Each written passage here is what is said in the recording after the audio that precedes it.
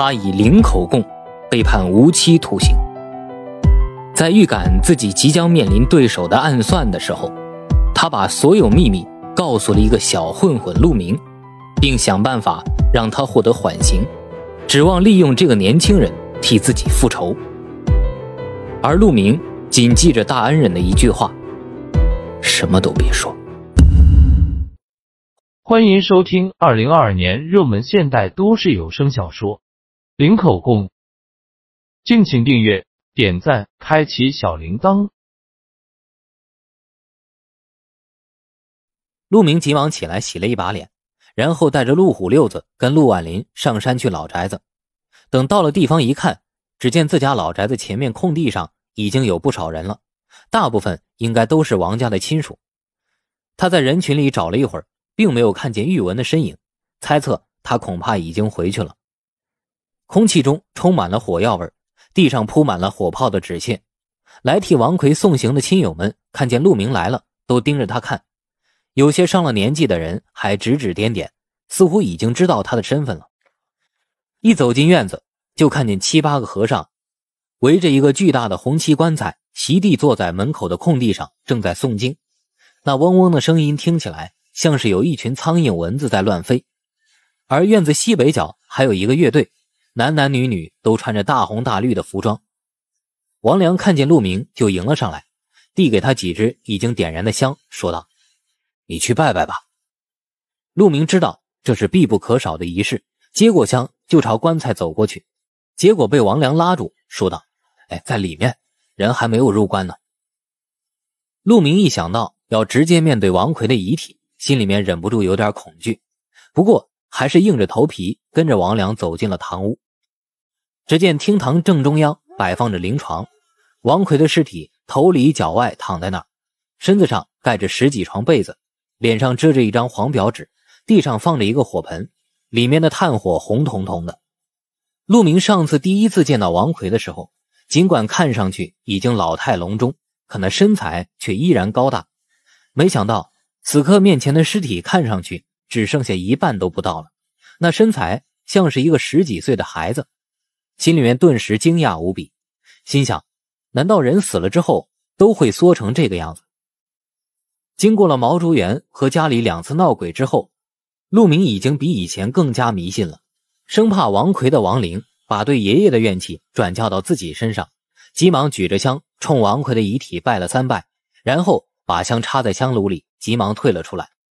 入关！只听一个人把声调拖得长长的喊了一声。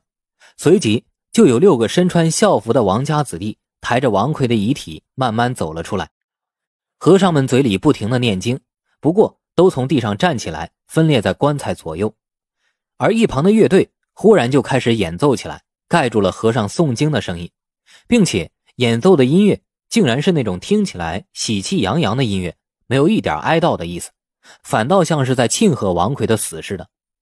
怎么演奏这种音乐啊？陆明一脸好奇的小声问陆万林。陆万林笑道：“王奎啊，都快一百多岁了，算是老喜丧，这是值得高兴的事情，自然要演奏喜庆的音乐。你看看那些送葬的婆娘，看见有一个哭的没有？老喜丧是不准哭的，要是死的是王良，那些婆娘啊，此刻早就哭昏过去了。”启灵！王奎装进棺材之后，又听见司仪喊叫了一声。几个壮汉用人腿一般粗的竹杠抬起棺材，在一群人的簇拥下走出了院子。陆明终于松了一口气。一直以来，一想到王奎的尸体就停在自家老宅子里，心里面就像压着一块石头。现在这块石头终于让人抬出去了。他抬头看看老宅子楼上，也不知道怎么回事，忽然心里泛起一阵寒意，总觉得那四扇老式木头窗户后面。有一双窥视的眼睛，心想：王奎在这栋老宅子里，就像活死人一般晃悠了几十年，到处都留下了他的气息。从他自身的愿望来说，肯定不愿意离开这里，说不定已经暗中和爷爷那些马子的阴魂难舍难分了呢。现在肉身虽然已经抬走了，可阴魂早就隐藏在这栋老宅子的各个角落。要想把这栋老宅子清理干净，显然已经不可能了。严格说起来，这栋老宅子才是王奎真正的坟墓呢。乐队吹吹打打，送葬的队伍一直来到陆明上次见过的那座古老的小石桥。王奎在桥头站住了，并没有继续跟着灵柩走过石桥。陆明还以为王良是在等自己，急忙走过去，没想到他说道：“就送到这儿吧，我们就不去了。”陆明一阵惊讶，心想：作为儿子。怎么能不亲自看着老子下葬呢？陆万林似乎猜到陆明的疑惑，笑道：“梅渊村先民的坟茔啊，都在石桥那边，所以这座石桥呢，就被当做了奈何桥。送葬送到这里，也就算到头了。当然呢，想送过去也没关系。”陆明其实也不想跟着去墓地，笑道：“这都是你们自己编出来的吧？奈何桥可是阴阳分界线，照你们这么说，那谁还愿意过去啊？”王良说道：“话也不是这么说的，对于去世的人来说就是奈何桥，可对于去那边干活的人来说就是一座普通的桥。对了，现在老宅子归你了，我家里人已经把该搬走的东西都搬走了，不过楼上有一些旧家具都是你祖上留下来，有一张红木大床还挺值钱的，就留给你做个纪念吧。说实话，那张床。”我家里人谁都没有在上面睡过。陆明说：“你陪我上去看看吧，我对自己的祖居还没有一点印象呢。”几个人又沿着一条小路回到老宅子，刚刚还热热闹闹的，可现在却幽静的就像另一个世界，除了阳光和高高掠过树梢的风声，什么都听不到，就连平常在大樟树上叽叽喳喳的鸟雀也被火炮吓得逃走了。哎呀，这两个石锁也有些年代了吧？看上去有四五十斤呢。陆虎在院子里看见了两个深陷进泥土去的石锁，感兴趣的说道。陆明指指院子里一把大笤帚，说道：“你和六子把院子里纸屑都清扫一下，把石锁挖出来洗干净了。”说完，就和王良、陆婉林走进了屋子里。楼下也没什么可看的，上次来的时候。摆在堂屋的家具都已经半空了，两边的厢房里原本就没什么东西，拉开房门就能闻到一股霉味儿。你父亲是怎么死的？我的意思是，是不是得了什么病啊？陆明问道。王良瞥了一眼陆婉林，似乎还有点不愿意说，不过犹豫了一下，还是说道：“哎，也不是什么病，实际上是昨天晚上从楼梯上滚下来摔死的。”陆明吃了一惊，似不信道：“摔死的。”王良点点头说：“今天早晨啊，我老婆来给他送饭的时候，发现他就死在楼梯口，鼻子里有血迹，一只鞋也掉了。我爸年纪大了，腿脚不利索，显然是不小心从楼梯上滚下来的。不过我也纳闷呢，他这两年基本上不去楼上了，也不清楚他昨天晚上怎么突然就上楼去了呢。”最奇怪的是，他最近饭量大增。你不知道啊，他最喜欢吃霉豆饼，喝甲鱼汤。以前一顿只吃一个饼，甚至有时候胃口不好的时候，半个饼都吃不掉，所以经常都剩下来。可最近一段时间啊，我老婆每天给他送的四个饼都吃得一点不剩。我老婆也奇怪呢，问他最近饭量怎么这么好，他还生气说不是他吃的，而是晚上被老鼠吃掉了。还嘱咐我们给他弄一只猫来抓老鼠，我这还没顾上呢，没想到他就去了。陆明疑惑道：“这老宅子就你爸一个人，楼上又没人上去，多半成了老鼠窝了。可也奇怪啊，老鼠应该以前就有啊，为什么现在才出来？”陆万林笑道：“哎，夏天的时候啊，老鼠吃的东西多，田里面也能找到食物。眼下入了冬季，就不太容易找到吃的东西了。”所以就钻到屋子里来了。陆明想想也有道理，于是就跟着王良上楼。他发现楼梯都是用上好的楠木做成的，但毕竟年代太久了，所以脚踩在上面会发出咯吱咯吱的响声，尤其是三个人同时走在上面，还会微微摇晃。他还真有点担心会不会突然垮掉。楼上的样子跟陆明想象的不太一样，并没有一间一间隔起来的房间。除了左右有一个房间之外，其他地方都是敞开式的。一上楼，就能看见最里面的一张挂着蚊帐的大床，靠墙摆放着几把破旧的太师椅，还有几只旧时的木头箱子。除此之外，并没有什么其他东西。由于木质的窗户都上了栓，房间里光线幽暗，阳光从裂开的木窗户里射进几条细细的线，可以看见静静浮动在那里一动不动的岁月的尘埃。奇怪的是，楼下那些没人住的房间都散发出一股霉味儿。可楼上反倒闻不见那种气味，好像这里的东西都已经被风化了，以至于失去了发霉的机会。但这也不是说房间里就没有气味，只是无法说清楚是一种什么气味。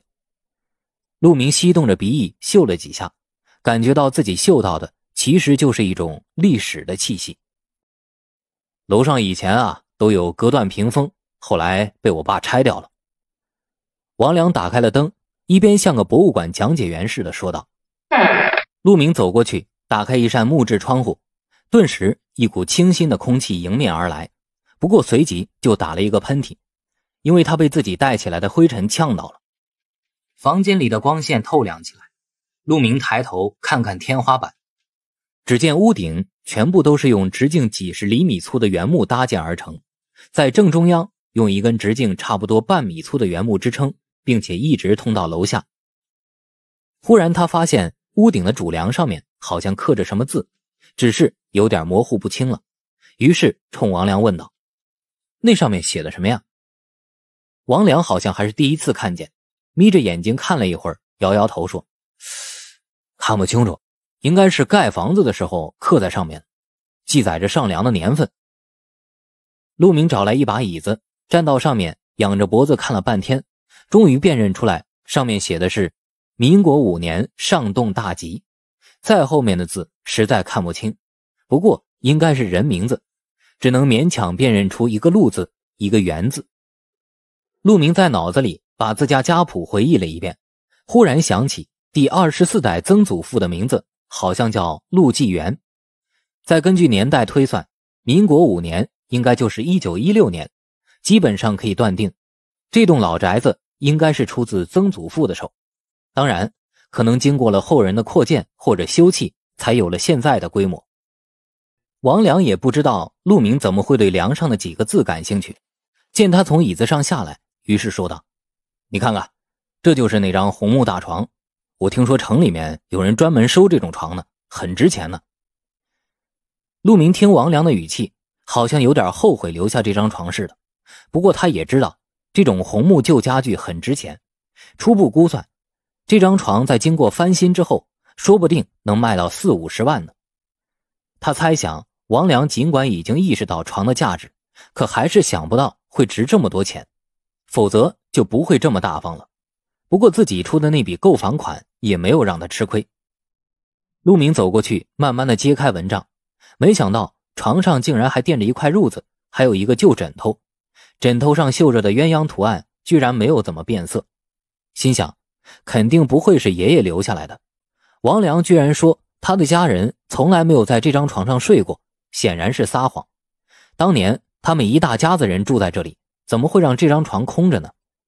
这时，陆万林忽然用手在褥子上拍了几下，说道：“你爸恐怕最近一直住在楼上吧？”王良愣了一下，随即肯定地说。那不可能，他这辈子也没有在楼上睡过觉，一直都是住在一楼的左厢房里。陆万林又伸手在褥子上拍了几下，你看看，一点灰尘都没有，显然有人经常在上面睡觉，要不然这蚊帐一抖，早就呛得人站不住了。王良似乎也感到意外，不自觉地伸手拉着蚊帐抖落了几下，确实没有发现有多少灰尘，疑惑道：“难道我爸这几天？”真的在这里睡过，可晚上也挺冷的，怎么就没有被子呢？陆明脸上惊疑不定，盯着王良问道：“你爸为什么从来不在楼上睡觉啊？”王良瞥了陆万林一眼，神情扭捏的嘟囔道：“可能是有什么顾忌吧。听说你爷爷以前睡在楼上。”陆明总觉得王良没有说实话，似乎有难言之隐，也不好多问。正想走过去关上窗户下楼，忽然听见陆万林说道：“你还说你爸没在这儿睡过？你看看这把椅子。”说着，把靠近窗户边的一把椅子拉过来，指着上面继续说道：“其他的椅子上面都是灰尘，但这把椅子却是干干净净的，肯定是经常坐的缘故。”陆明低头一看，果然发现椅子上竟然一尘不染，干净的就像有人特意擦拭过。再看看椅子刚才摆放的位置，顺着那个角度看出去，正好能看见院子大门以及围墙外面的大樟树。有人曾经坐在窗前朝外面探望。这个念头闪过陆明的脑际，一闪而过。不过，那个朝外面探望的人还是王奎的身影，但目光却仔细的把整个屋子巡视了一遍。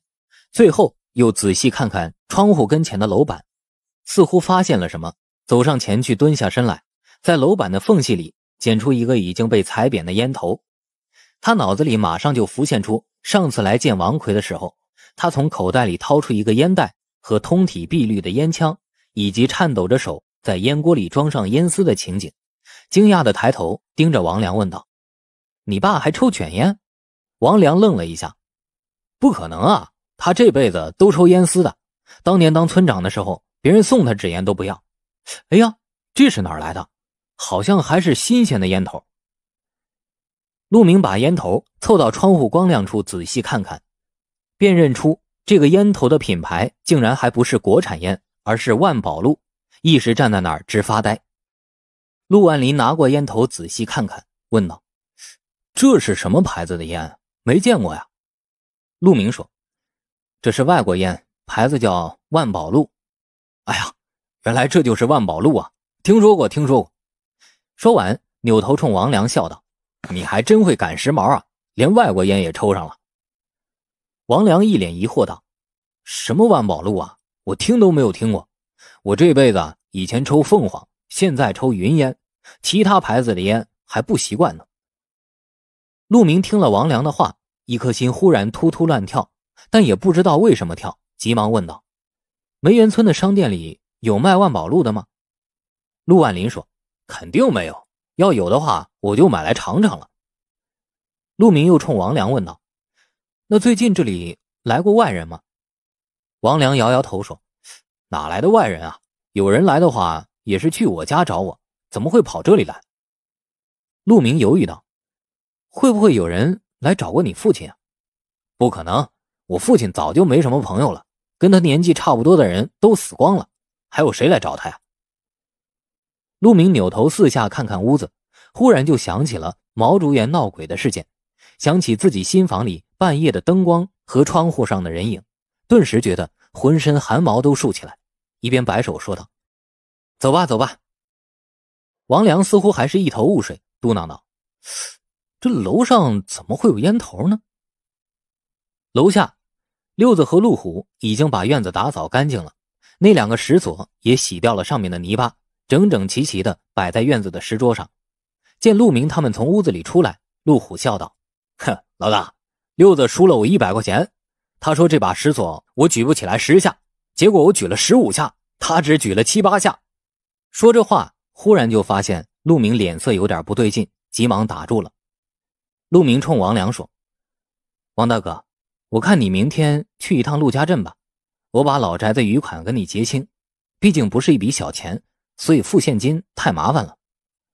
王良高兴地说：“没问题，没问题，我还正想去陆家镇买点东西呢。”说着话，几人从山上下来，走到下坡的地方，陆明还回头朝老宅的窗户上瞥了一眼，不知道为什么，他再次预感到木质窗户后面似乎有一双窥探的眼睛，但这次。脑子里的形象再也不是王奎了。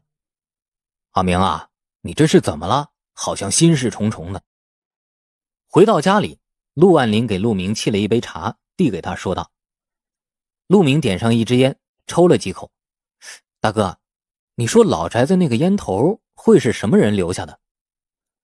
陆万林一愣，似乎没想到陆明竟然一直在琢磨这件事，于是笑道：“嗨，管他是谁留下的，等明天啊。”我找几个人把整栋屋子打扫一遍，打开窗户通通风，去去晦气。不管怎么说呀，你赎回了祖上的老宅子，也是一件喜庆的事情。到时候摆上几桌酒，多找些人去宅子里闹一闹。陆明忽然冲陆万林一摆手，阻止他继续说下去。最近村子里来过陌生人吗？陆万林愣了一下，这我哪知道？你要是想知道的话，我去问问村委会面前那些整天在那晒太阳的老头老太太，村子里有没有来过外人啊？他们最清楚。陆万林原本是说笑，可没想到陆明说：“那你快去问问。”陆万林愣了一下，可发现陆明的神情丝毫不像是开玩笑，而是一脸紧张。尽管一头雾水，可还是马上出去打听了。这里，陆明坐在那儿沉思了半天，从口袋里掏出手机，拨通了水根的号码，问道：“舅，你说我的新房子闹鬼，具体是哪天啊？”水根显然没有料到外甥会突然打电话过来问这件事，犹豫了一下，说道：“差不多有一个多星期了吧？怎么？”陆明打断水根的话，又问道：“最近再没有什么异常吧？”“最近倒是挺清静的。”村子里有几个胆大的，半夜还专门去看过几次，不过什么都没有发现。陆明也不跟水根多说，马上挂断了电话，又坐在那儿闷头抽了一会儿烟，然后掏出那把备用手机给陆琪打了一个电话。第一次没有打通，第二次打通了，好一阵才听见陆琪气喘吁吁的接电话：“正在游泳呢，找阿龙吗？”陆明急忙说道：“不找阿龙，就找你。”我问你啊，张坤平时喜欢抽什么烟啊？你问这个干什么呀？陆琪愣了一下，陆明大声道：“你别管我干什么，我只问你，张坤平时喜欢抽什么烟？你以前跟他走的这么近，该不会不知道吧？”神经病！陆琪嗔道：“他只抽一个牌子，万宝路。”陆明心中打了一个激灵，身子一阵微微颤抖，半天没说话。只听陆琪微微叫了一阵。好一阵听不见陆明出声，就把手机挂断了。陆虎、溜子，陆明愣了一会儿，忽然大声喊道：“陆虎和六子正在院子里抽烟，听见老大的声音，吓了一跳，马上丢掉烟头冲进来，却发现陆明有点失魂落魄的坐在椅子上，脸色惨白，就像得了什么大病似的。哎，老大，你你这是怎么了？可别是被阴气入体了吧？”陆明一掌拍在桌子上。喝道：“放你娘的屁！是他，肯定是他。这世上哪儿来的鬼啊？”陆虎和六子也不明白陆明嘴里的他说的是谁，不过还是被他的样子吓了一跳，真怀疑他会不会是被王奎的鬼魂附体了。老大，你说的谁呀？陆虎小心翼翼的问道。陆明扭头看着两个马仔，缓缓说道：“就是那天晚上。”半夜出现的那个和尚，陆虎一惊：“和尚在哪里啊？”陆明像是自言自语的说：“如果我没有猜错的话，他晚上就躲在老宅子里。王奎那些霉豆饼可不是老鼠吃的，多半是他吃掉的。另外，王奎有可能半夜听见楼上有什么动静，所以才破天荒的上楼查看，结果呢，被他推下楼来摔死了。万宝路。”那个烟头就是他留下的，没有扔出窗户。陆虎和六子听得一头雾水，搞不清楚陆明究竟在说什么。可见他神情严峻，并不像是疯癫的样子，于是也不敢插嘴。陆明瞥了两人一眼，说道：“你们两个现在去老宅子，在院子里仔细给我找找，只要发现有万宝路的烟头，就给我拿回来。”六子疑惑道：“今天来了这么多人，刚才我们打扫的时候。”发现到处都是烟头。六子还没有说完，陆明眼睛一瞪：“快去！”陆虎一转身就出去了。六子稍稍犹豫了一下，也赶了出去。正好碰见陆婉林带着一个老太太走了进来。你们匆匆忙忙的，这是要去哪儿啊？哎呀，老大让我们去找烟头。六子丢下一句话，就追陆虎去了。陆万林疑惑的带着那个老太太走进来。尽管他也发现陆明的神情有点不对劲，还是说道：“阿明啊，还真让你猜着了，这是李大妈。她前些日子看到过一个陌生人来村子里转悠。”陆明一听，急忙问道：“李大妈，你看见那个人长什么样？多大年纪？就一个人吗？”李大妈好像不认识陆明，就一个人，好像是城里人旅游的吧？长相嘛，也没有看清楚。不过五六十岁的年纪吧。陆明急忙说：“是不是光头啊，或者戴着帽子？”李大妈想了一下，摇摇头说：“不是光头，也没戴帽子。我记得很清楚啊，他当时身上背着一个旅行袋，在水塘那边站了一会儿，然后就从东边的小路上山了。”陆明皱皱眉头，心想：“不对呀，张坤要么是光头，要么就应该戴着帽子。这么短的时间，不可能长出头发。难道不是一个人？可年龄差不多。”想到这里，陆明又问道。后来再没有见过。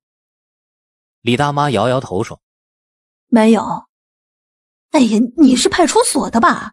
前些日子也有警察来问过我们，见没见过陌生人进村子呢？我看村委会那边贴着通缉令，都说上面那个人是杀人犯，挺吓人的。陆明打断李大妈问道：“那你觉得看见的那个人和通缉令上的像不像啊？”不太像。我看见的那个像城里人。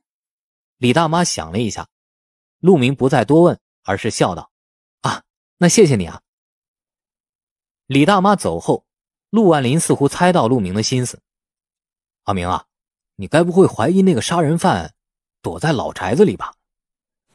陆明递给陆万林一支烟，自己也点上一支，这才问道：“那你说那个烟头是谁留下的？”陆万林说。那谁知道啊？也许是今天哪个客人因为好奇偷偷上过楼。陆明又问道：“你说王奎为什么会突然上楼去呢？按照王良的说法，他这辈子都不会上楼上睡觉。尽管王良没有说出什么原因，但我猜测呀，王奎当年肯定在楼上看见过我爷爷上了他妈。”陆万林笑道：“哼，这倒是很有可能。”要不然他也不会一辈子耿耿于怀了。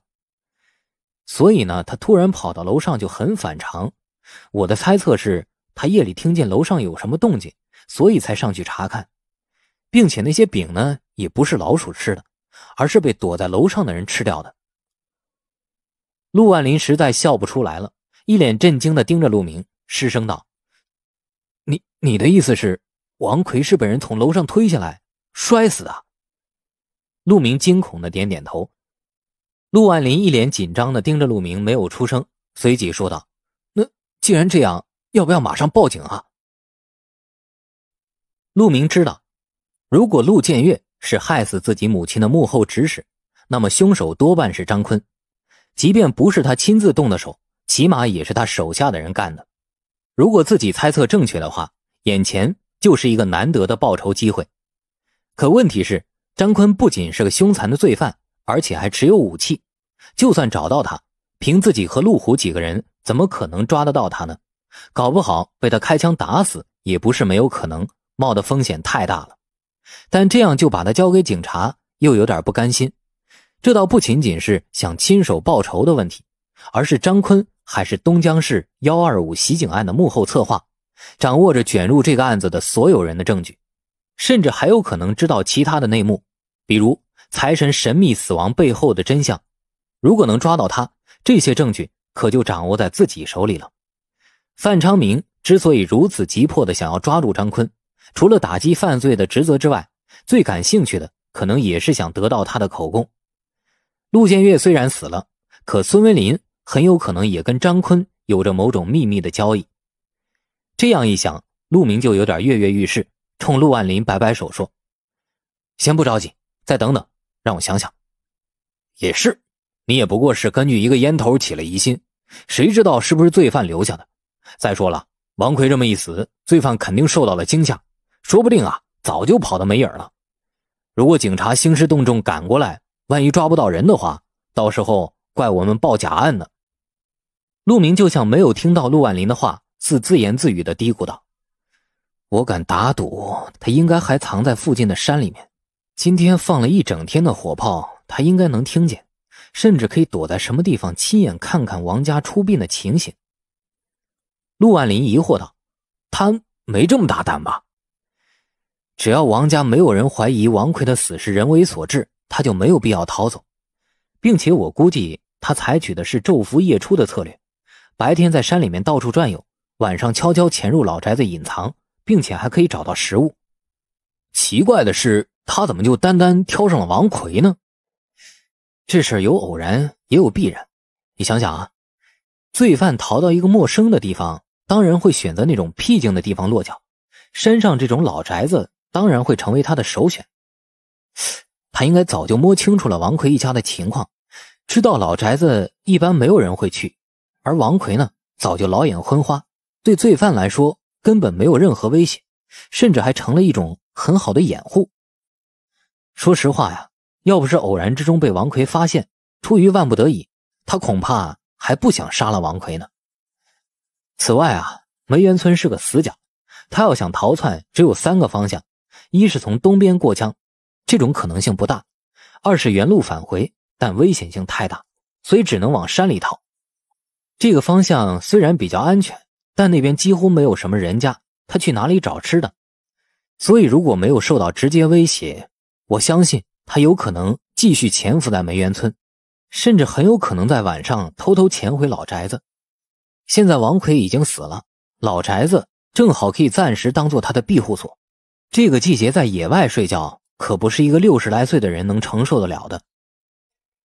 陆万林听了陆明的分析，紧张的说道：“那既然这样，我们干脆报警就算了。”陆明犹豫了好一阵，最后下决心似的说道：“，我要亲手抓住他。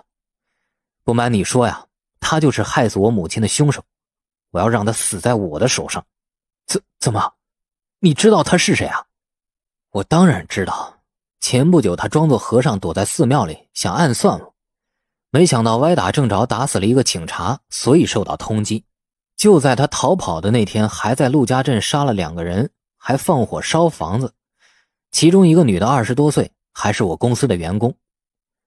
陆万林一脸震惊的神情，可可是通缉令上说他持有武器，这也太危险了。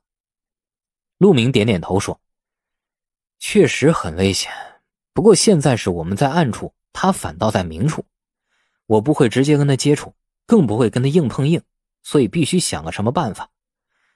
不过为了预防万一呢，也必须做点准备。你能不能找一只威力大一点的鸟铳？村子里应该还有这玩意儿吧？鸟铳？不瞒你说，我家里就藏着一只，村子里都收缴过好多次了，可千万不能让人发现啊！陆明瞥了一眼陆婉林。这事儿你不用参与，不过千万别露出一点风声。我只在这里守一晚上，如果他没来的话，明天我就报警，让警察进山搜索。这你放心，我当然不会出去乱说。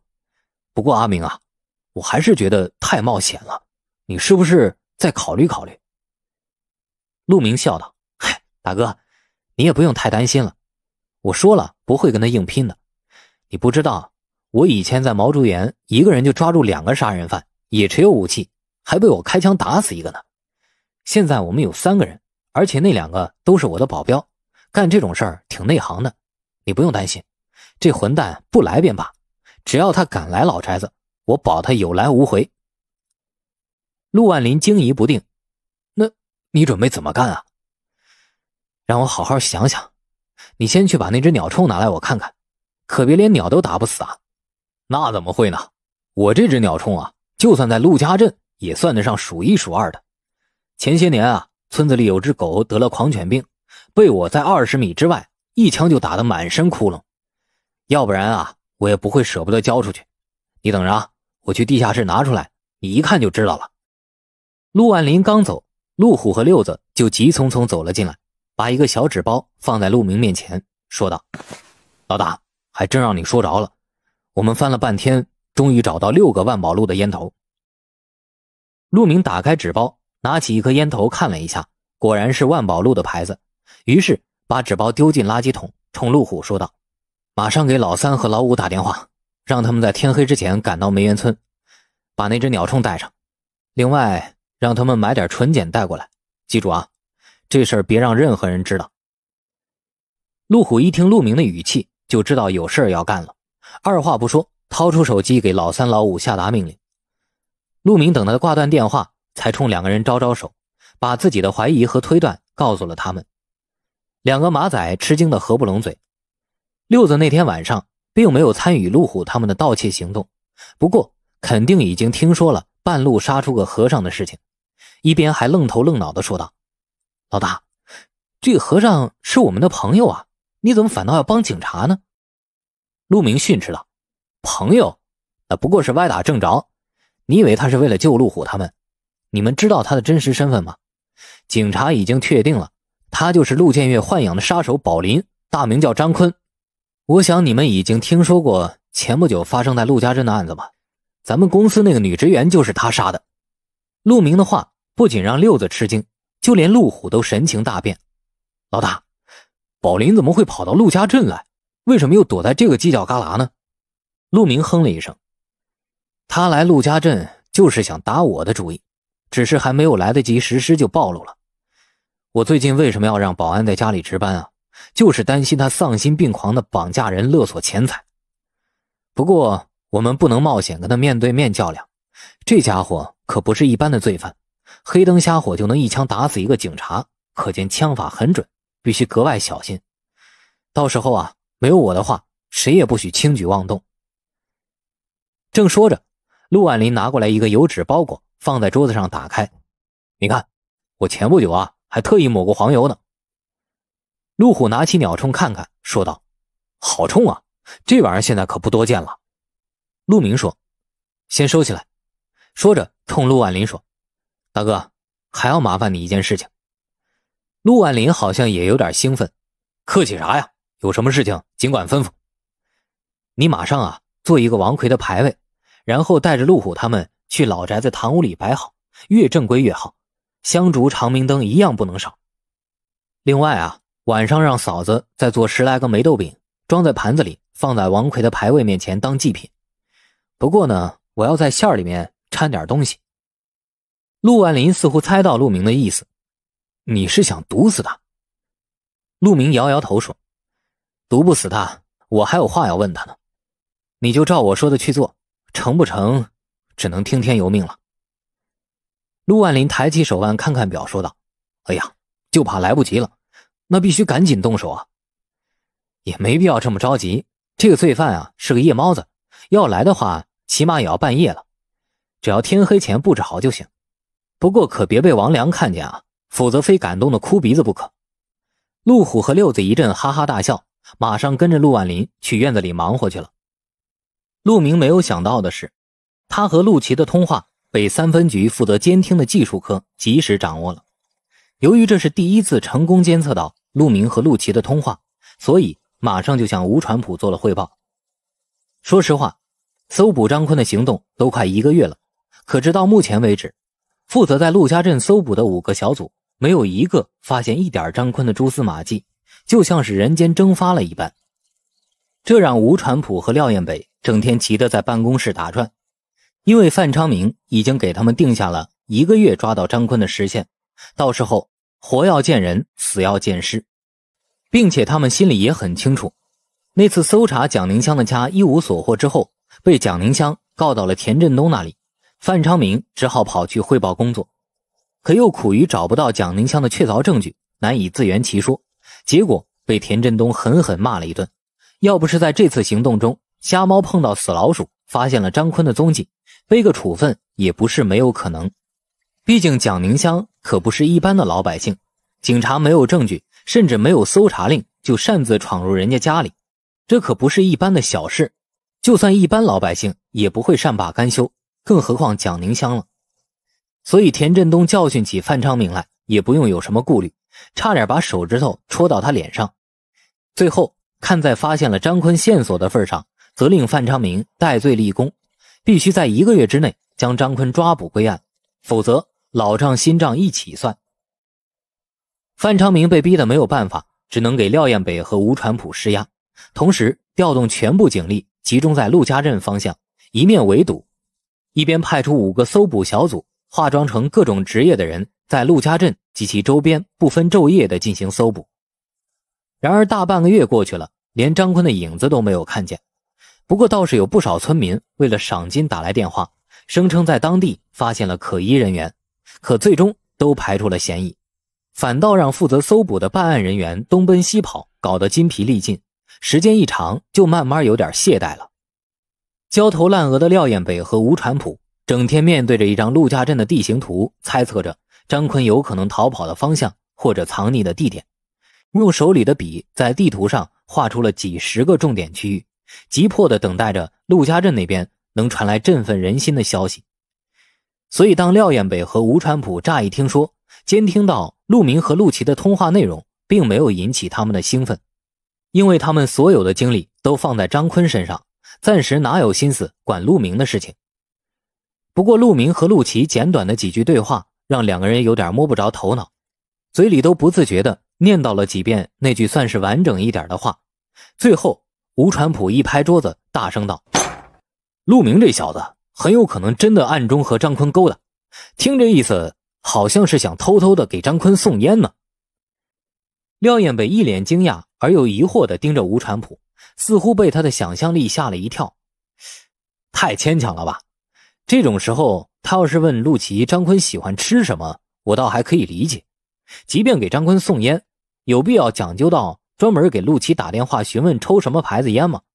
就算张坤是他大爷，这种情况下。也不一定有这个孝心吧。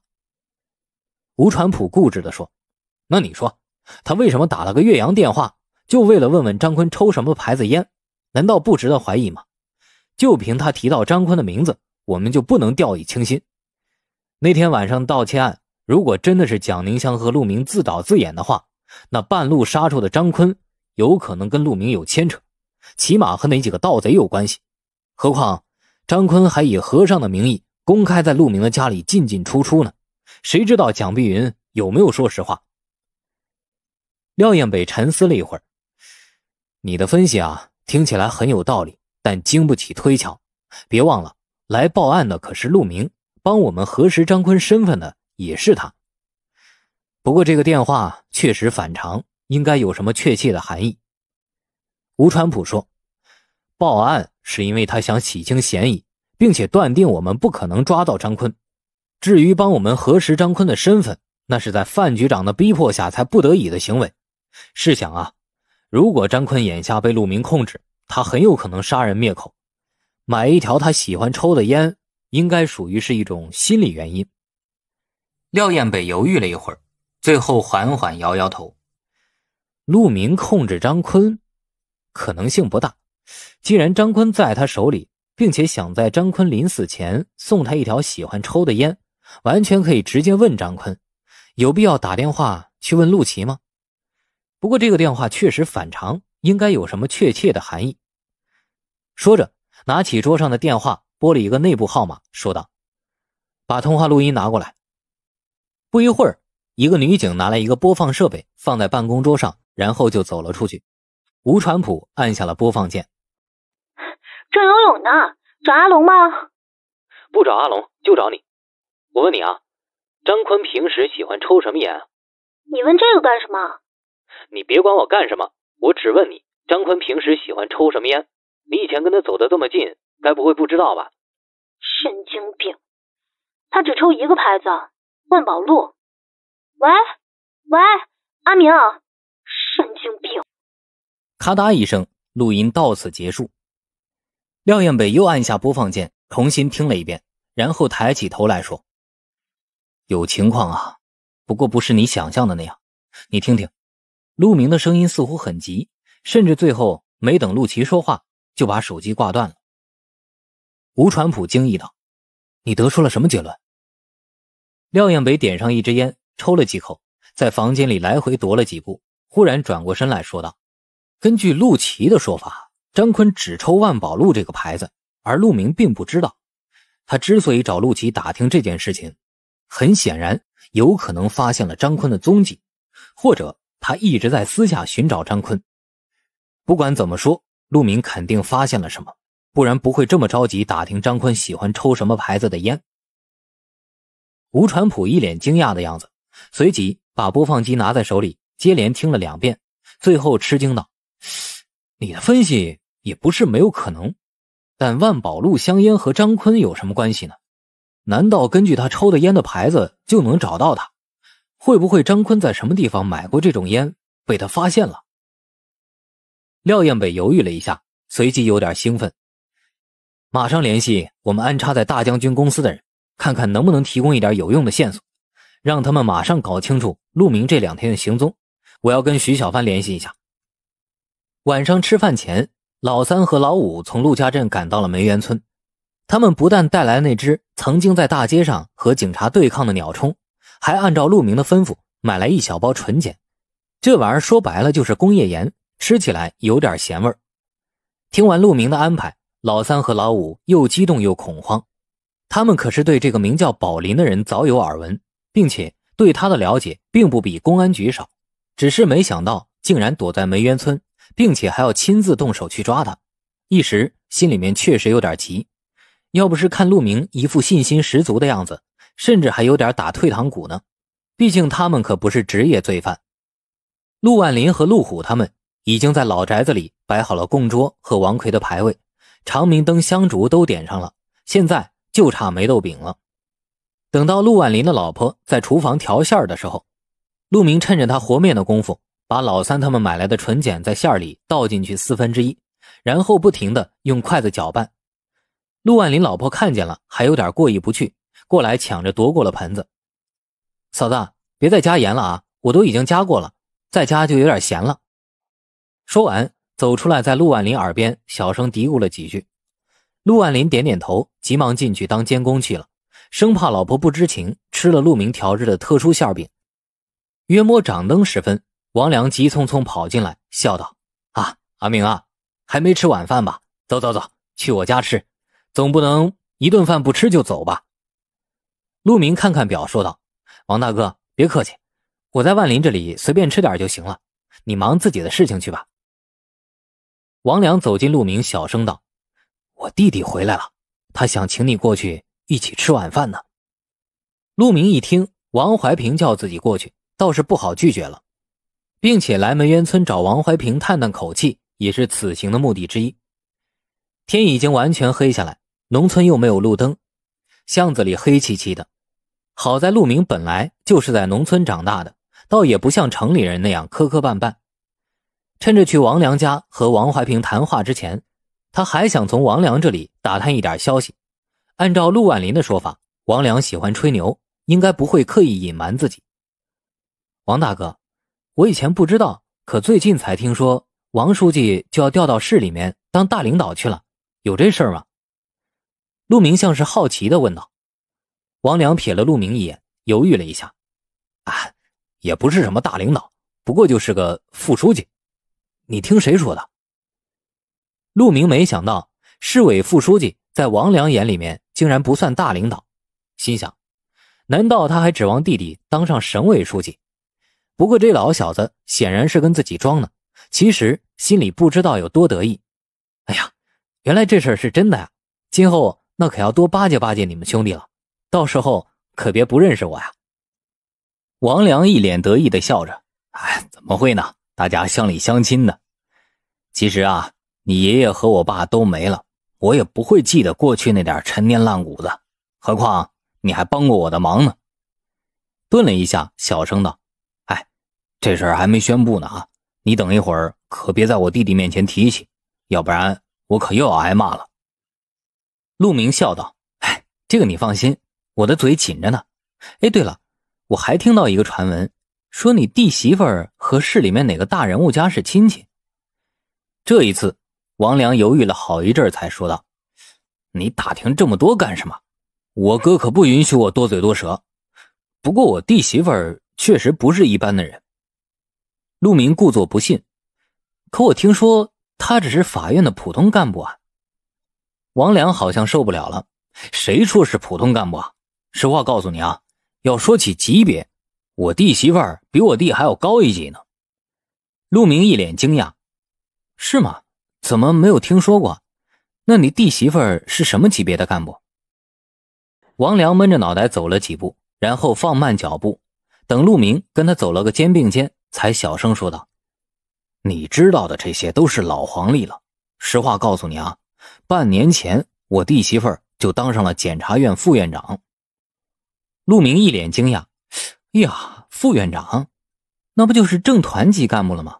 那可不是比你哥高一级的问题了。”其实你哥眼下应该是个科级干部，怎么一下子就升到副书记了？岂不是比你弟媳妇儿还高级？王良嘟囔道：“这个我也不是太清楚，不过陆家镇呢，马上就是市里面的一个区了。我哥先当区委书记，然后才当市里面的副书记呢。”陆明听得一头雾水，心想：就算陆家镇升格为 W 市的一个区，王怀平起码也要在这里干几年。难道刚升区委书记就马上调到市里面当市委副书记？看来这也不过只是个传言。说不定还是王良自己瞎编的。王怀平要想当市委副书记，起码也是几年之后的事情。怪不得蒋宁香官场消息这么灵通，都没有听说过。哎，对了，你弟媳妇儿叫什么名字啊？如果有机会的话，我也想认识一下。王良瞥了陆明一眼，似乎明白他这句话的意思，笑道：“嗨，怪不得你小子年纪轻轻的就能当大老板呢，还挺机灵。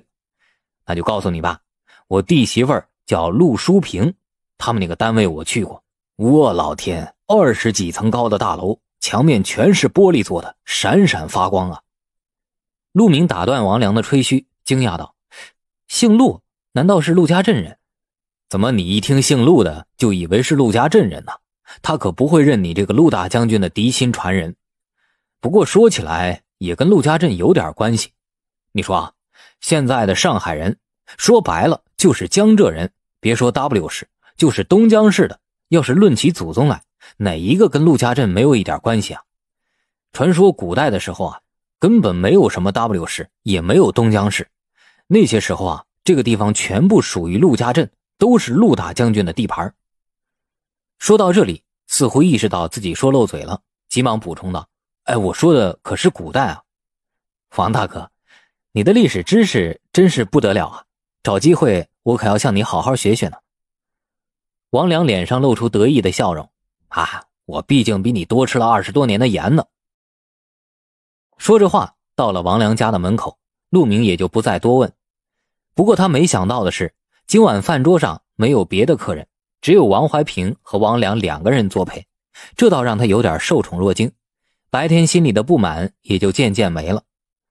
王怀平看上去挺客气，见陆明进来。就迎上来跟他握手，一脸歉意的说道：“哎呀，陆总啊，实在不好意思啊，今天家里面事情太多，都没有顾得上跟你打个招呼，所以我让大哥特意叫你来谈谈。”陆明这辈子没有见过什么官王怀平虽然只是一个镇党委书记，可他的举动已经让他诚惶诚恐了，急忙双手握着王怀平的手说道：“哎，领导这么忙，怎么好意思打搅你呢？”有王大哥招呼就足够了。王良似乎知道弟弟要和陆明谈正经事，所以陪了几杯酒之后，就找个借口下楼去了。桌子上只剩下陆明和王怀平两个人。两个人稍稍沉默了一会儿，似乎都想等着对方开口。可陆明在得知王怀平有可能是孙干那条线上的人之后，就变得格外谨慎，甚至打定主意，如果王怀平今天晚上。不提到那笔赞助或者敏感话题的话，自己就打算保持沉默。最后还是王怀平先打破了沉默，端起酒杯浅浅咂了一口。我前些日子啊去党校学习了，回来之后才知道你当上了大将军公司董事长。不知道蒋总是辞去了董事长职务，还是……啊，王书记啊，虽然我们没有什么交往，可你应该也听说过我有几斤几两。实际上啊，蒋总并没有辞去董事长的职务，而是他女儿在国外突然得了病，还挺严重的，所以过去探望。当然了，他也想趁机考察一下国际市场，看看能不能做点外贸生意。所以呢，就让我暂时代理几天。说白了，公司的一切蒋总都安排的井井有条的。我这个董事长啊，充其量也就是田里的稻草人差不多。王怀平一愣，盯着陆明注视了一会儿。忽然哈哈笑道：“嘿呀，陆总啊，你可真是够谦虚的。照现在网上的时髦说法，叫叫自黑，你倒是挺舍得自嘲自黑呀。就凭这一点，就没人敢小看你啊。”陆明嘟囔道：“哎，我说的是实话，实事求是。哎，不瞒你说啊，这几天呢，我这个董事长就碰到了一件棘手的事情，让我确实左右为难啊。既然在这里碰见你。”正想请你指点一下呢。